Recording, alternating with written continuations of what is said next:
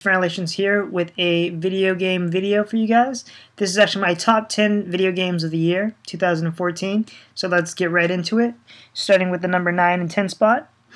I give you both at the same time because it is Pokemon Omega Sapphire and Alpha Ruby. Um, these games are remakes of the third generation Pokemon games. Those originally came out on Game Boy Advance and now they're out on the 3DS when those came out, for whatever the reason, by then that was the generation I was kind of like not over Pokemon, but getting over it. And I never really, um, at the time of release, went through the whole game. I did later on. And much similar to that with these, when they first released, that's right when World of Warcraft was out, and a whole bunch of other games, Smash Brothers. So I actually haven't gotten around to uh, playing it. One of these are still actually sealed. Um, but I'm sure maybe next month or something like that, I'll be able to jump in and go ahead and get all the badges and catch all the Pokemon from that game. So, looking forward to that. Number 8 on the list is another remake. This is Final Fantasy X and X-2 for the PS3. Uh, it was actually just announced that it'll also be coming out again for the PS4, so they're making a remake of the remake, which is pretty funny. You know, no complaints, Sony, make your money. Um, it is what it is. But yeah, these were games I loved when they originally released. Uh, I don't remember, I don't think I beat 10 originally. I know I beat 10 too. And yeah, so it was really cool to jump back into those worlds again and uh, go ahead and play them in HD graphics. Next up, Dark Souls 2. Uh, I haven't put way too much time into this game. I'd really like to jump into it some more. Uh, I've put maybe three, four hours, something like that, into the game, and obviously there's a lot more to go through it. However, I still have to rank it up there just because of how much I enjoyed it. Um, being a fan of like Diablo growing up and stuff like that, these type of RPG games are always like high on my list. So there you go at number seven, Dark Souls 2. Number six, Mario Kart 8. Um, definitely an amazingly fun like party game with friends and stuff like that. I like how they have the amiibo functionality, so you can have the different costumes and stuff like that. And it's already just a really like well executed game. That's a lot of fun. And to add that like collectible toy um, like I guess value to the game something I really enjoy. So that's number six on my list. Speaking of the value of collectible toys mixing with games number five Disney Infinity Marvel uh, 2.0 superheroes now, I've always been a big Disney fan, but I've also definitely been a Marvel fan, and so to get those collectible toys, like I was talking about with the other game, and being able to put them into the game, and just um, the different story modes and everything like that. All, inside the games, there's even more collectible stuff you can gather, like costumes and set building stuff and stuff like that. So, definitely really high on my list. I had a lot of fun with it. I put a bunch of hours into it, to be honest. But yeah, I don't even I don't even know how many. But yeah, a lot of fun, and I can't wait for the next one because I'm guessing it'll be Star Wars related, considering the new movie comes out next year. Oh my gosh. Next up, number four. Um, shooters don't usually make it too high onto my list. However, Destiny um, is an MMO, um, or at least has MMO aspects to it, and that's something I can really appreciate as someone who likes to like collect and like upgrade their gear and stuff like that a lot of fun. Um, I think I put about 40 hours into this game, something like that. I just recently hit level 26 once the new um, expansion came out. Um, but yeah, as far as doing the raiding and all that, I already have a game where I do that in, and that's World of Warcraft, as you can see back there. So to like um, put that time investment into it is not really something I'm looking to do off of this game. Just kind of grab and play and have some fun. So Destiny PS4 release right there, um, number four on my list. Next up, a game that came out uh, really early in the year South Park The Stick of Truth. An amazingly funny game. It's basically like a 10 hour long episode of South Park.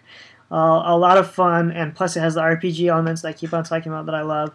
Um, it looks just like the cartoon itself, and yeah, an amazing game. I hope there's a sequel later on, but we'll see what they what, what they end up doing with it.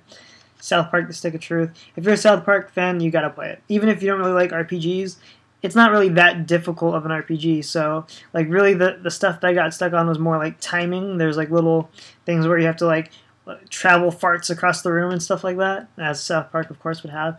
And just like getting that wrong is the only thing that like had me stuck on the game. But yeah, a lot of fun, a lot of comedy, and even like it's fun to watch. So if you have someone else that just wants to watch you play or whatever, it's fun. So definitely a very amazing game. And it would probably be number one if it weren't for like um, newer versions of already like favorite games, which I'm going to get into next. Number two, Smash Brothers for the Wii U. Um, I I know that I put uh, Pokemon Ruby and Sapphire as separate, but I kind of put the 3DS and this one as the same release, just because. I mean, you're probably going to want to play this game on the go, so the 3DS version is going to be something you're probably going to want to get as well. I don't know. To me, I just kind of combine these two. But anyways, um, Smash Brothers for the Wii U is a game I've been super pumped for for over a year now. It's got to have been. They've been hyping this game up so much. And once again, it's got that collectible element that I love. You can see the figures back there, the amiibos. And so yeah, Nintendo, Blizzard, and Sony are my three favorite gaming companies, and um, a lot of my favorite games growing up came from uh, Nintendo. And to have all those characters in one game to battle with, and with friends online and everything, all the different features they have, just the bang for your buck. This is an amazing game that I definitely recommend. And lastly, you can probably guess it by that huge um, store display that I got for it, uh, World of Warcraft Warlords of Draenor. Um, I've loved this game for the past 10 years. Whenever the new expansion comes out, I get it day one. I'm always racing to be one of the first on the server to get max level. Um, so yeah, I've been playing it pretty much nonstop since it came out and enjoyed every minute of it. The new features, the garrison, uh, of course, now they have the cross realm features for people that are just now getting back into the game. You can play with other people from other servers. And just, um, yeah, so many new additions. The raiding is really fun as always. Uh, I'm raiding in Highmaul right now. And yeah, so that's my list. Is there anything you guys feel that I missed? Once again, let me run through them. Um, World of Warcraft number one. Ooh, let me grab these.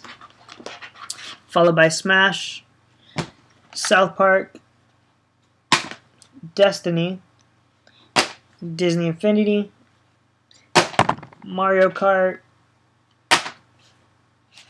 Dark Souls, uh, Final Fantasy X and X-2, and Pokemon Ruby and Sapphire. And just to kind of finish this video up, some games that I know I'm interested interested for uh, for next year, Bloodborne. I'm actually probably going to check out that um, Yoshi Woolly World. I haven't played a Yoshi game in quite some time, but just the way that game looks, like it looks like it's just literally yarn being used and stuff uh, out of like I don't know grandma's arts and craft set or something like that. It just looks amazing. And those are the games that come to mind right off the top. Um, but I'm also hoping that there's going to be a Disney Infinity Star Wars game. If so, wow, gonna be super excited for that one. But yeah, um, until next year, guys, I'll see you for um, more top 10 video game lists. And uh, stay tuned for more collectibles, video game, and sneaker videos right here on youtube.com slash Peace, guys.